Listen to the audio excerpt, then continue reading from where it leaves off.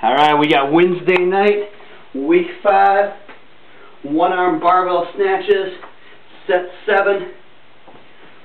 Here we go.